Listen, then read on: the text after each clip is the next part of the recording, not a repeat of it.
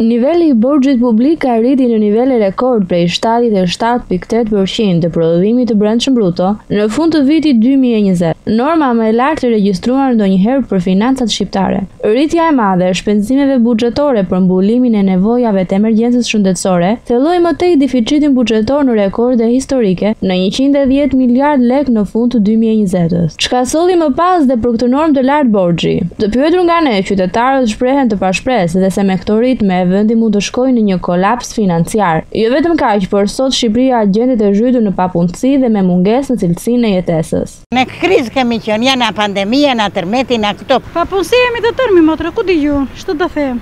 Pa punë, pa punë të tërë. E di shteti ato e di qeveria ne s'dimë gjë po na morën në punë do bëjmë po s'na morën isha në asiste në rrobaqepësi për pandemi na hoqën nga puna. Se është qeveri e keqe. Ka arritur ekstrem. Ekstrem. Çfarë të themi më.